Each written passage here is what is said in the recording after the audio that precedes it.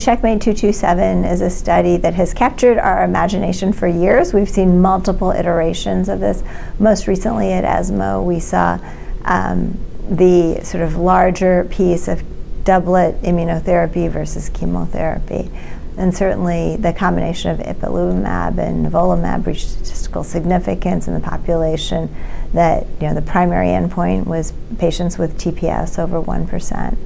Um, and certainly, I think it's exciting. I think what was really exciting was uh, another endpoint, which was not a primary endpoint, was looking at patients who had no PD-L1 expression, and those patients also seemed to benefit pretty substantially over chemotherapy. It's been demonstrated with chemotherapy and immunotherapy as well, but certainly this is exciting for patients who may prefer a chemotherapy-free backbone um, that we see such a nice survival benefit.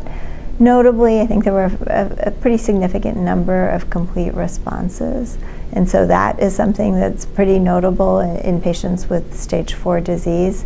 Um, toxicity was well managed. I think the question is going to be really how do we uh, adequately choose patients for the doublet immunotherapy combination, and that's a significant effort um, that, is, that is ongoing.